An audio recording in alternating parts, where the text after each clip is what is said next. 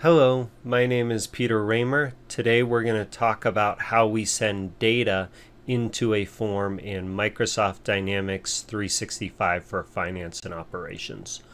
We can send data into a form in several different ways, um, but one of the primary ways is to use properties on a menu item.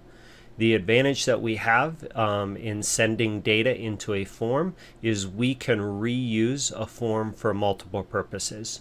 We can control its look and feel, we can make it editable, we can change what data we want to show, really kind of anything that you can imagine um, we can change on our form, um, passing in different parameters to cause it to look one way or another. Um, this is really useful and core to the idea of um, not duplicating code, including code on a form. So let's get started and let's look at some of the primary key properties on a menu item that we uh, need to be able to set and can set to pass data in. So right now I have this RSM vehicle service workbench menu item. It is pointing to a form object um, and the form is named RSM vehicle uh, service workbench on this form, there's a few properties um, that are important that we can look at. Specifically, there is a property called parameters. This allows us to enter in any kind of string, um, and then we can read that string on the other side in the form.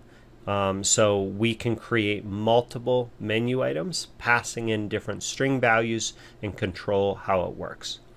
The other property that I want to point out that we'll cover more detail next is there is an enum parameter and enum type parameter. These two uh, work in conjunction and we can pass in an enum and an enum value and read those values uh, um, inside the form. There's some additional pieces that allow us to send data into forms, um, but those aren't specifically properties on menu items. So we'll cover those in another article. So for now, what I'm going to do is actually duplicate this menu item. I can do that by pushing Control C and then Control V on my keyboard, and then I get a new menu item with the word copy at the end. I can then name this, um, you know, whatever I want. I can name it parameters.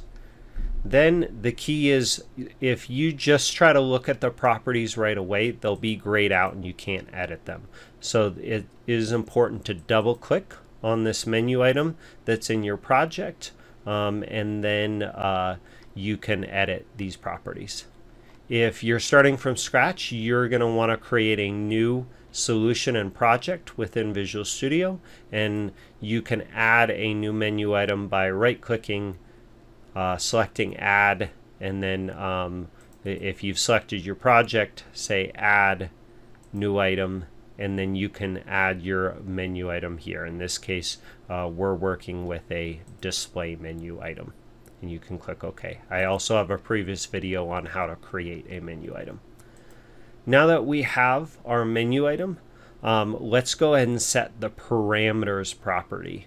So in this case, I'm actually going to um, type in the text um, that I want to be able to read on the other side. And whatever it is, I just need to make sure that I remember this text. So I'm going to call this text enable read only. Maybe I want to make my form disabled and make it in a read only mode. So I can pass in that text right here. Next, let's look at how we read this value on the form side. The form that I'm trying to open is called RSM Vehicle Service Workbench. So I'm going to double click on it to open the designer. In this designer, the key here is I want to override the init method.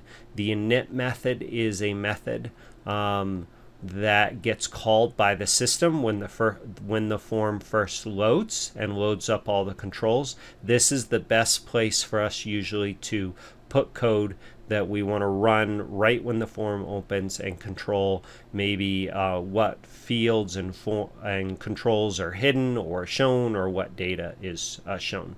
So I've already overridden the init method on this form, but if you needed to, you would right click on this methods node underneath the main form and select override and then scroll all the way down uh, until you see a init in the list. Since I've overridden it already, it's not going to show up in my list here. I can then uh, double click on my init method uh, to bring up the forms code, or you can also right click on the form itself and say view code. That will also bring up the form code editor. In this case, when you first override the init method, all you're going to get is a method with this word super. And this uh, method call to super will actually load up all the controls um, and data sources and get everything kind of uh, working. So we always want to put our code um, after the super in, in vast majority of cases. So next I've gone ahead and added this code already to handle the menu item, but let's talk about what it does. Specifically, this first statement says if element.args, and it's going to call this function called .args. .args returns an, an object of type args.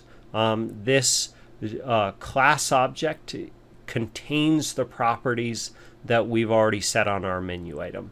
So back on our menu item, when we set this parameters property right here, um, and when we run this menu item, the system's automatically going to take this parameters string and pass it into an object called args that we're able to read on um, this other side.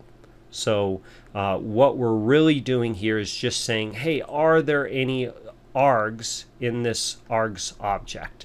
And in our case, there should be. So if we've got an args object, the next thing we want to check is this dot .parm method.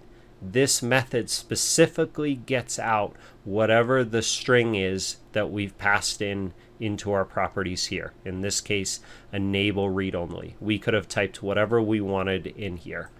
That string then will get pulled out. And so if that string equals enabled read only, we can then take action to make this form look different or whatever we need to. In this case, I've actually taken my data source, which is called RSM vehicle. I've added the necessary underscore DS to refer to the data source object. So if I look back on my um, data source, I can see that my data source is called RSM vehicle. And so to refer to that uh, data source, I need to call RSM vehicle underscore DS. And so I've said RSM vehicle underscore DS allow edit is a method that's on all data sources and I've set this to false um, making it so that no user can edit any uh, data that's coming from this data source. I've also set allow delete to false as well, as well as allow create. This effectively is making it so this data source cannot be changed, putting it into what we would call read-only mode. Um, this data source properties could have been edited directly you know, I could have gone back to my form, select this data source, and change these properties to be no, but then it would have been permanent. I wouldn't have been able to make it work one way for one menu item and a different way for a different menu item. Um, and that's kind of what we're looking at here. Lastly, I wanted to show you kind of one other helpful example. Um, on my form, I have some buttons that I would like to disable. So in this case, I have these two example buttons. They are both in this button group called form button group. What I did is I went to the properties on this form button group and I set the auto declaration to yes. After I've done that, I can now access this button group in code. So if I go back to um, my code, I'm going to just type in the same name as the form button and then I can access its um, methods on it. So I'm going to call dot enabled and pass in false. So basically these buttons cannot be clicked if I'm calling the menu item where we've passed in the parameters enable read only mode.